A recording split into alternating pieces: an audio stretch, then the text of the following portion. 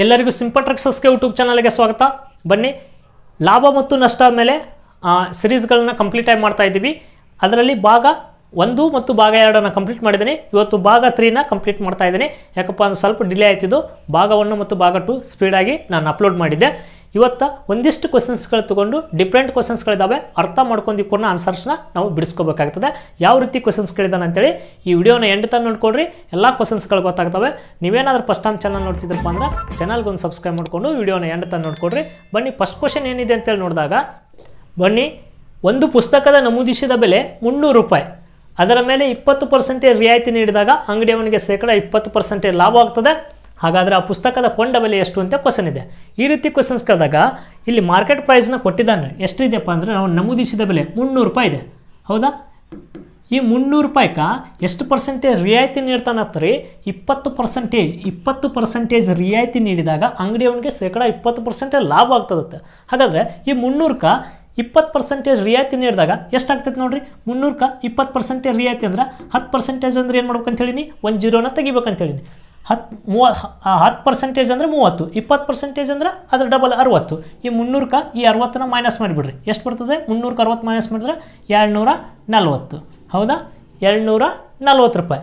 ಎರಡುನೂರ ನಲ್ವತ್ತು ರೂಪಾಯಿ ಏನಾಗಿರ್ತದಪ್ಪ ಅಂದ್ರೆ ಆತ ಅದನ್ನು ಮಾರಿರ್ತಾನೆ. ಸೆಲ್ಲಿಂಗ್ ಪ್ರೈಸ್ ಇದು.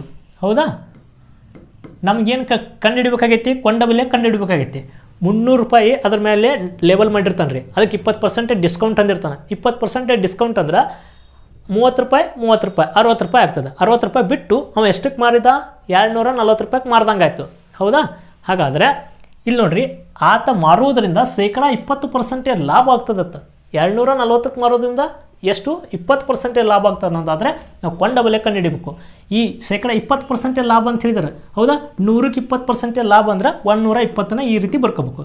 ಅಂದ್ರೆ ಇದು ಏನು ಸೆಲ್ಲಿಂಗ್ ಪ್ರೈಸ್ ಈ ನೂ ಒಂದು ಇಪ್ಪತ್ತು ಪರ್ಸೆಂಟೇಜ್ ಲಾಭ ಇಟ್ಕೊಂಡು ಮಾರೋದ್ರಿಂದ ಈ ಎರಡುನೂರ ನಲ್ವತ್ತು ರೂಪಾಯಿ ಆತನಿಗೆ ಲಾಭ ಆಗ್ತದೆ. ಹೌದಾ? ಹಾಗಾದರೆ ಹಂಡ್ರೆಡ್ ಪರ್ಸೆಂಟೇಜ್ ನಮ್ಗೆ ಯಾವಾಗಲೂ ಕೊಂಡ ಬೆಲೆ ಏನಾಗಿರ್ತೈತಿ? ನೂರು ಹಂಡ್ರೆಡ್ ಪರ್ಸೆಂಟೇಜ್ ಆಗಿರ್ತೈತಿ. ಈ ಹಂಡ್ರೆಡ್ ಪರ್ಸೆಂಟೇಜ್ ಎಷ್ಟು ಅಂತೇಳಿ ಕಂಡುಹಿಡಿಬೇಕು ರೀ ಅವಾಗ ಕೊಂಡ ಬೆಲೆ ಬರ್ತದೆ. ಇಲ್ಲಿ ನೋಡಿರಿ, ಇದೊಂದು ಜೀರೋ ಇದೊಂದು ಜೀರೋ ತೆಗಿತೀನಿ. ಹನ್ನೆರಡು ಎರಡಲೆ ಇಪ್ಪತ್ನಾಲ್ಕು. ಮ್ಯಾಚ್ ಆಗ್ತದ? ನೆಕ್ಸ್ಟ್ ಇಲ್ಲಿ ಇಲ್ಲಿ ಎರಡರಲ್ಲೇ ಮಲ್ಟಿಪ್ಲಿಕೇಶನ್ಸ್ ಮಾಡಿದ್ರೆ ಇಲ್ಲಿ ಎರಡೇ ನೂರೆರಡಲೆ ಎರಡು ನೂರು ಈ ಎರಡು ನೂರು ರೂಪಾಯಿ ಆತ ಅಂದು ಏನಾಗಿರ್ತದಪ್ಪ ಅಂದ್ರೆ ಕೊಂಡ ಬೆಲೆ ಆಗಿರ್ತದೆ. ಈ ಎರಡು ನೂರು ರೂಪಾಯಿ ಮಾರುವುದರಿಂದನೇ ಆತನಿಗೆ ಏನಾಗಿರ್ತದಪ್ಪ ಅಂದ್ರೆ ಇಪ್ಪತ್ತು ಪರ್ಸೆಂಟೇಜ್ ಲಾಭ ಆಗಿರ್ತದೆ ರೀ ಹೌದಾ? ಇಲ್ಲಿ ನೋಡ್ರಿ, ಇಲ್ಲೇ ನೋಡಿರಿ ಎರಡು ನೂರಕ್ಕೆ ಹತ್ತು ಪರ್ಸೆಂಟೇಜ್ ಎಷ್ಟು ರೀ ಇಪ್ಪತ್ತಾ?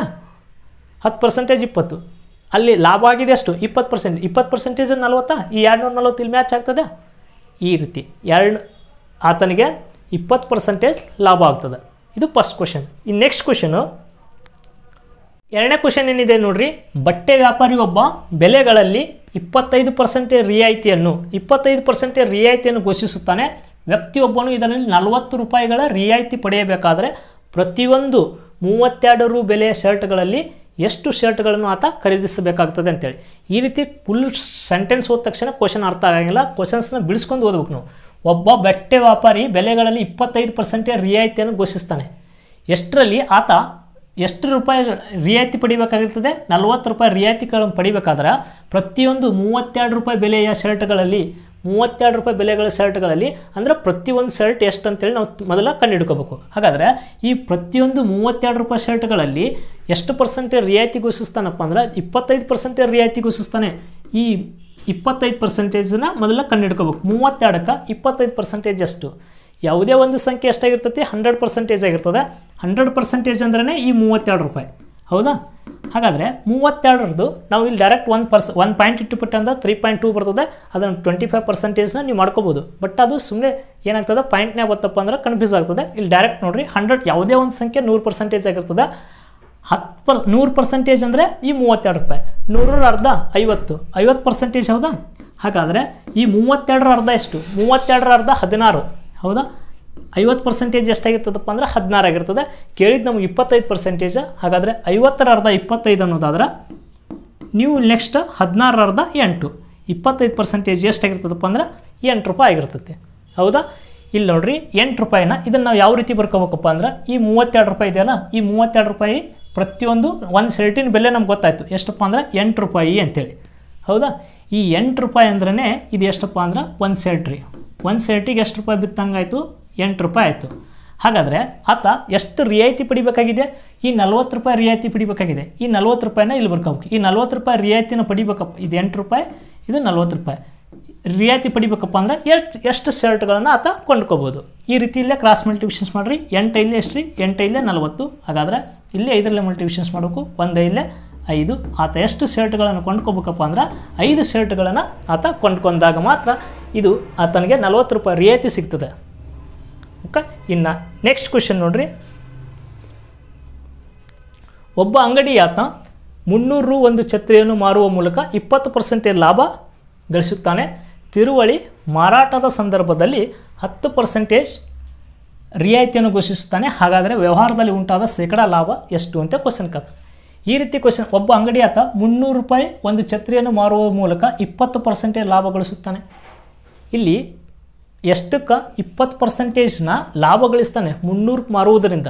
ಹಾಗಾದರೆ ಈ ಒಂದೂರ ಇಪ್ಪ, ಒನ್ ಒನ್ ಪರ್ಸೆಂಟ್ ಇದು ಇಪ್ಪತ್ತು ಪರ್ಸೆಂಟೇಜ್ ಲಾಭ ಮಾರು, ಎಷ್ಟಕ್ಕೆ ಮಾರ್ತಾನೆ ರೀ ಇಪ್ಪತ್ತೈದು ಪರ್ಸೆಂಟೇಜ್ನ ಲಾಭ ಗಳಿಸ್ಬೇಕಾದ್ರೆ ಈ ಮುನ್ನೂರು ರೂಪಾಯಿಗೆ ಒಂದು ಛತ್ರಿಯನ್ನು ಆತ ಮಾರುವುದ್ರ ಮೂಲಕ ಇಪ್ಪತ್ತು ಪರ್ಸೆಂಟೇಜ್ ಲಾಭ ಗಳಿಸ್ತಾನೆ ಹಾಗಾದರೆ ಹಂಡ್ರೆಡ್ ಪ ಕೊಂಡ ಬೆಲೆ ಎಷ್ಟು ನಾವು ಕಂಡುಹಿಡ್ಕೋಬೇಕು ಮೊದಲ?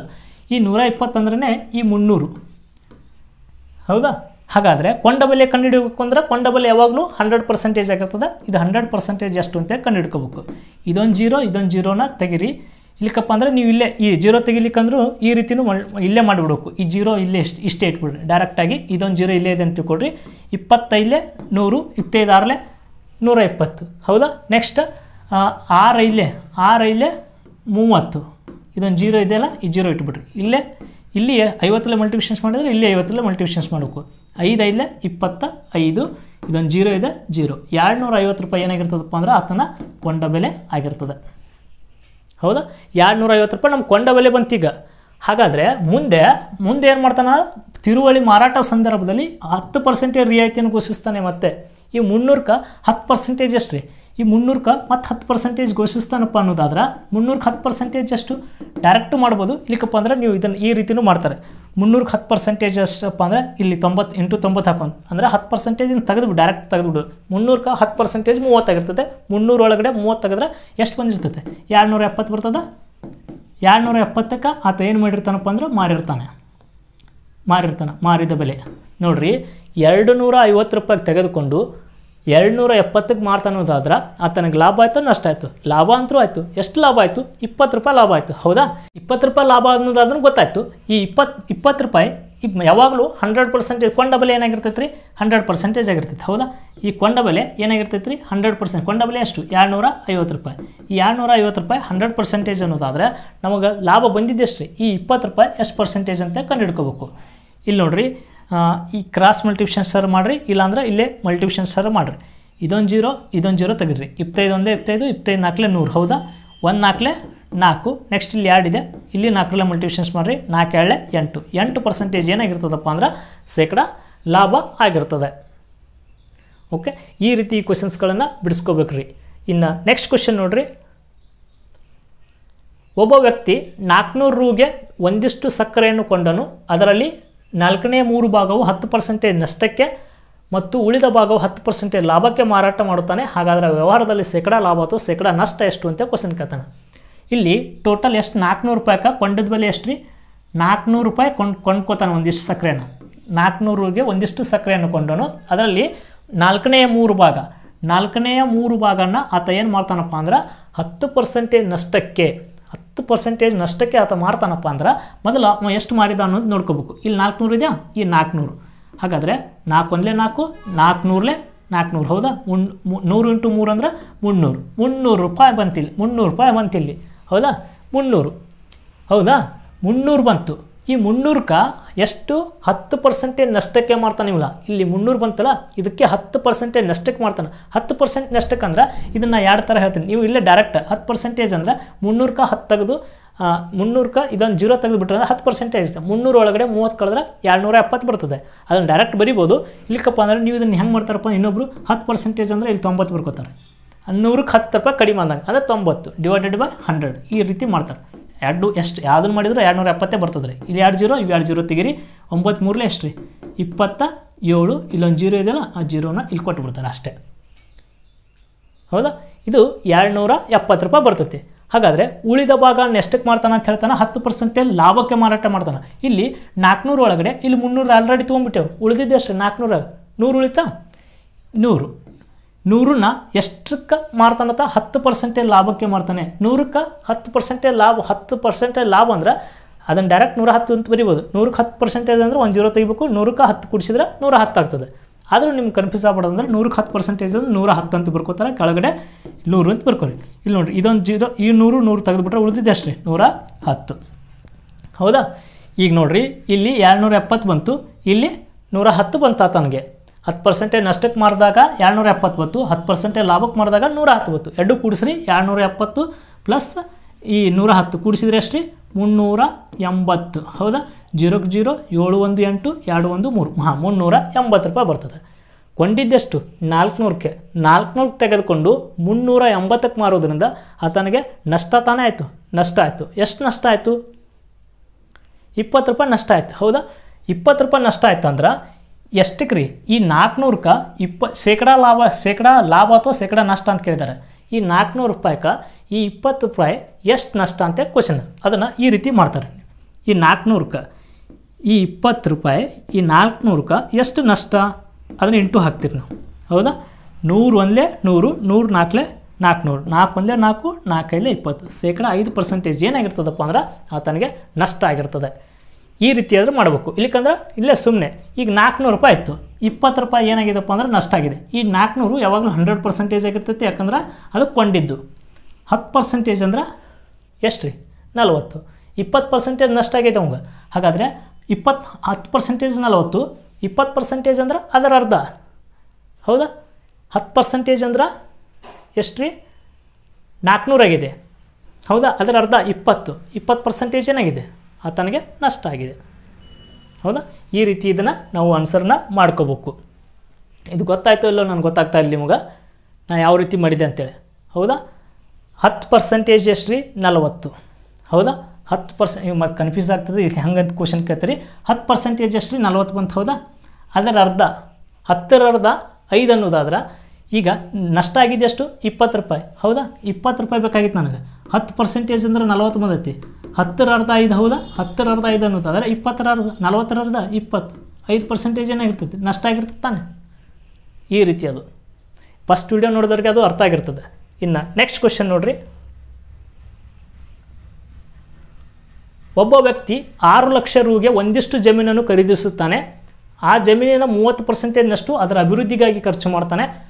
ಆ ಜಮೀನಿನಲ್ಲಿ ಒಟ್ಟು ಇಪ್ಪತ್ತೈದು ಪ್ಲಾಟ್ಗಳಾಗಿ ವಿಭಜನೆ ಮಾಡ್ತಾನೆ. ಆ ವ್ಯವಹಾರದಲ್ಲಿ ಆತನಿಗೆ ಇಪ್ಪತ್ತೈದು ಪರ್ಸೆಂಟ್ ಲಾಭ ಪಡೆಯುವುದು ಉದ್ದೇಶವಾಗಿರ್ತದೆ ಹಾಗಾದರೆ ಪ್ರತಿಯೊಂದು ಪ್ಲಾಟಿನ ಮಾರಾಟ ಬೆಲೆ ಎಷ್ಟಿರತಕ್ಕದ್ದು? ಎಷ್ಟಕ್ಕೊಂದು ಪ್ಲಾಟ್ನ ಆತ ಮಾರಬೇಕು? ಈ ರೀತಿ ಕ್ವಶನ್ ಕೇಳಿದಾಗ, ಒಬ್ಬ ವ್ಯಕ್ತಿ ಎಷ್ಟು ರೂಪಾಯಿ ರೀ? ಆರು ಲಕ್ಷ ರೂಪಾಯಿ. ಹೌದಾ? ಆರು ಲಕ್ಷ ರೂಪಾಯಿನ ನಾವು ಈ ರೀತಿ ಬರ್ಕೋಬೇಕು ಆರು ಲಕ್ಷ. ಇದನ್ನು ಡೈರೆಕ್ಟ್ ಹೇಳ್ಬಿಡ್ತೀನಿ ರೀ. ಬಿಡಿ ಹತ್ತು ನೂರು ಸಾವಿರ, ಹತ್ತು ಸಾವಿರ ಲಕ್ಷ. ಈ ಕಾಡ್ಲಿಂದ ಬಿಡಿ ಹತ್ತು ನೂರು ಎಣಿಸೋದಂತೆಲ್ಲ ಈ ಸೈಡ್ಲಿಂದ ಎಣಿಸಿದ್ರು ಅದೇ ಆರು ಆರು ಲಕ್ಷನೇ ಆಗಿರ್ತಿತ್ತು ಅದು. ಹೌದಾ? ನೀವು ಈ ಕಡೆ ಯಾಕೆ ಬಿಡಿ ಅಂತಿರ್ತಾರೆ ಒಳಗೆ ಒಬ್ಬರು ಅದಕ್ಕೋಸ್ಕರ ಬಿಡಿ ಹತ್ತು ನೂರು, ಇದು ಆರು ಲಕ್ಷ. ಆ ಪ್ಲಾಟ್ ಜಮೀನಿನ ಮೂವತ್ತು ಪರ್ಸೆಂಟೇಜನ್ನ ಅದರ ಅಭಿವೃದ್ಧಿಗಾಗಿ ಖರ್ಚು ಮಾಡ್ತಾನೆ. ಅಂದರೆ ತನ್ನ ದುಡ್ಡನ್ನೇ ಖರ್ಚು ಮಾಡ್ತಾನೆ ಅಭಿವೃದ್ಧಿಗಾಗಿ. ಹಾಗಾಗಿದ್ರೆ ಇದನ್ನು ನೂರಕ್ಕೆ ಮೂವತ್ತು ಪರ್ಸೆಂಟೇಜ್ ಅಂದರೆ ಎಷ್ಟು ರೀ ನೂರಕ್ಕೆ ನೂರ ಮೂವತ್ತು ಮೂವತ್ತು ಹೆಚ್ಚಿಗೆ. ಹಾಗಾಗಿ ಒಂದು ನೂರ ಮೂವತ್ತು ಡಿವೈಡೆಡ್ ಬೈ ಹಂಡ್ರೆಡನ್ನು ಮಾಡ್ಬೇಕು ಇದನ್ನು ಇಂಟು ನೆಕ್ಸ್ಟ್ ಖರ್ಚು ಮಾಡ್ತಾನೆ. ಆ ಜಮೀನಲ್ಲಿ ಒಟ್ಟು ಎಷ್ಟು ಪ್ಲಾಟ್ಗಳನ್ನು ವಿಭಜನೆ ಮಾಡಬೇಕಾಗಿತ್ತವ ಇಪ್ಪತ್ತೈದು ಪ್ಲಾಟ್. ಹಾಗಾದರೆ ಆರು ಲಕ್ಷ ಒಳಗಡೆ ಇಪ್ಪತ್ತೈದು ಪ್ಲಾಟ್. ಓಕೆ ಇಲ್ಲಿ ಇಂಟು ಹಾಕ್ರಿ. ನೆಕ್ಸ್ಟು ಆ ವ್ಯವಹಾರದಲ್ಲಿ ಆತನಿಗೆ ಎಷ್ಟು ಲಾಭ ಪಡೆಯುವ ಉದ್ದೇಶ ಇದೆ? ಇಪ್ಪತ್ತೈದು ಪರ್ಸೆಂಟೇಜ್ ಲಾಭ ಪಡೆಯುವ ಉದ್ದೇಶ ಇದೆಯಪ್ಪ ಅಂದ್ರೆ ನೂರಕ್ಕೆ ಇಪ್ಪತ್ತೈದು ಅಂದರೆ ನೂರ ಇಪ್ಪತ್ತೈದು ಡಿವೈಡೆಡ್ ಬೈ ಹಂಡ್ರೆಡ್ ಓಕೆ ಈ ನೆಕ್ಸ್ಟ್ ನೋಡ್ರಿ. ಇಲ್ಲೆರಡು ಜೀರೋ ತೆಗಿತಾ ಇದ್ದೀನಿ? ಇಲ್ಲೆರಡು ಜೀರೋ ತೆಗಿತಾ ಇದ್ದೀನಿ? ಇಲ್ಲೆರಡು ಜೀರೋ ತೆಗಿತೀನಿ? ಇಲ್ಲಿ ಒಂದೆರಡು ಜೀರೋ ತೆಗಿತೀನಿ. ಇಪ್ಪತ್ತೈದು ಇಲ್ಲೇ ಇಪ್ಪತ್ತೈದು ಒಂದೇ ಇಪ್ಪತ್ತೈದು ಇಪ್ಪತ್ತೈದು ಇಲ್ಲೇ ನೂರ ಇಪ್ಪತ್ತೈದು ರೀ. ಹೌದಾ? ನೆಕ್ಸ್ಟ್ ಏನು ಮಾಡಬೇಕು? ಮಲ್ಟಿಪ್ಷನ್ಸ್ ಮಾಡಿಬಿಡ್ರಿ. ಮಲ್ಟಿಪ್ಷನ್ಸ್ ಯಾವ ರೀತಿ ಮಾಡ್ತೀರಿ? ಹಾಂ, ಹದಿಮೂರು ಮಗ್ಗಿ ಬರಬೇಕು. ಹದಿಮೂರು ಆರ್ಲೆ ಎಷ್ಟು ರೀ ಎಪ್ಪತ್ತ ಎಂಟು. ಹದಿಮೂರು ಆರ್ಲೆ, ಎಪ್ಪತ್ತೆಂಟು, ಇಲ್ಲೊಂದು ಜೀರೋ ಇಲ್ಲೊಂದು ಜೀರೋ. ಎರಡು ಜೀರೋ ಇದಾವೋ. ಇಲ್ಲಿ ಎರಡು ಜೀರೋನ ನಾನು ಕೊಟ್ಟು ಕೊಡ್ತಾ ಇದ್ದೇನೆ. ಹೌದಾ? ಇದು ಏಳು ಸಾವಿರದ ಎಂಟುನೂರು ಆಯಿತು. ಇಲ್ಲಿ ಇನ್ನೂ ಐದು ಐತ್ರಿ. Into five. ಇಂಟು ಫೈ ಇದ್ದಾಗ ಏನು ಮಾಡ್ಬೇಕಂತ ಹೇಳಿ ಕೊಟ್ಟತ್ತ ಸೆಕೆಂಡ ನಾವೇನು ಮಾಡೋಕ್ಕಪ್ಪ ಅಂದ್ರೆ ಅರ್ಧ ಮಾಡಿ ಒಂದು ಜೀರೋನ ಆ್ಯಡ್ ಮಾಡ್ಬೇಕಷ್ಟೇ. ಎಪ್ಪತ್ತೆಂಟರ ಅರ್ಧ, ಮೂವತ್ತರಂಬತ್ತು. ಮೂವತ್ತರಂಬತ್ತೇಳೆ ಎಪ್ಪತ್ತೆಂಟು ಕರಿತೀವಿ. ಹಾಗಾದರೆ ಮೂವತ್ತರಂಬತ್ತು. ಇಲ್ಲಿ ಎರಡು ಜೀರೋ ಇದಾವ? ಎರಡು ಜೀರೋ ಕೊಡ್ರಿ. ಕೊಟ್ಟು ಅಷ್ಟೇ ಬಿಡಬಾರ್ದು ಆನ್ಸರ್ ಒಂದು ಜೀರೋನ ಆ್ಯಡ್ ಮಾಡ್ಬೇಕಂತ ಹೇಳಿ ನಾನು. ಇನ್ನೊಂದು ಜೀರೋನ ಆ್ಯಡ್ ಮಾಡಬೇಕು. ಮೂವತ್ತೊಂಬತ್ತು ಸಾವಿರ ಆಗ್ತದೆ. ಇಲ್ಲಿಕಪ್ಪ ಅಂದ್ರೆ ನೀವು ಬರ್ಲಿಕ್ಕಂದ್ರೆ ಐದು ಜೀರೋಲೆ ಜೀರೋ, ಐದು ಜೀರೋಲೆ ಜೀರೋ ಐದು ಎಂಟ್ಲೆ ನಲ್ವತ್ತು ಈ ರೀತಿ ಮಾಡ್ಬೇಕಾಗ್ತದೆ. ಅಷ್ಟು ಮಾಡಿದರೂ ಮೂವತ್ತೊಂಬತ್ತು ಸಾವಿರನೇ ಬರ್ತದೆ. ಪ್ರತಿಯೊಂದು ಪ್ಲಾಟಿನ ಮಾರಾಟ ಬೆಲೆ ಎಷ್ಟು ಇರಬೇಕಪ್ಪ ಅಂದ್ರೆ ಮೂವತ್ತೊಂಬತ್ತು ಸಾವಿರ ರೂಪಾಯಿ ಇರಬೇಕು. ಓಕೆ ಇನ್ನು ನೆಕ್ಸ್ಟ್ ಕ್ವಶನು ಹಾಂ ಓಕೆ ಇಷ್ಟು ಕ್ವಶನ್ಸ್ಗಳನ್ನ ಹಾಕ್ಕೊಂಡು ನಾನು ಲಾಭ ಮತ್ತು ನಷ್ಟನ ಕಂಪ್ಲೀಟ್ನ ಮಾಡ್ತಾ ಇದ್ದೀನಿ. ಇವತ್ತಿಷ್ಟು ಸಾಕು. ಇಷ್ಟು ಈ ಈ ರೀತಿ ಕ್ವಶನ್ಸ್ಗಳನ್ನ ಪಾರ್ಟ್ ಒನ್ ಮತ್ತು ಪಾರ್ಟ್ ಟು ಮತ್ತು ಪಾರ್ಟ್ ತ್ರೀ ನೋಡಿಬಿಟ್ರಪ್ಪ ಅಂದ್ರೆ ಲಾಭ ಮತ್ತು ನಷ್ಟದ ಮೇಲೆ ಯಾವುದೇ ಕ್ವಶನ್ಸ್ಗಳು ಬಂದರೂ ನೀವು ಈಸಿಯಾಗಿ ವಿತೌಟ್ ಫಾರ್ಮುಲಾ ಮುಖಾಂತರ ಬಿಡಿಸ್ತೀರಿ. ಆ ಗ್ಯಾರಂಟಿ ನಾವು ಕೊಡ್ತಾ ಇದ್ದೀನಿ. ಓಕೆ ನೀವೇನಾದರೂ ಫಸ್ಟ್ ಟೈಮ್ ಚಾನಲ್ ನೋಡ್ತಿದ್ರಪ್ಪ ಅಂದರೆ ಚಾನಲ್ಗೊಂದು ಸಬ್ಸ್ಕ್ರೈಬ್ ಮಾಡಿಕೊಂಡು ಎಲ್ಲ ವೀಡಿಯೋಗಳನ್ನ ಎಂಡ್ ತಂದು ನೋಡ್ಕೊಡ್ರಿ. ಇದೇ ಟ್ರಿಕ್ಸ್ ಮುಖಾಂತರ ನಾನು ಹೇಳಿದ್ದೀನಿ. Thank you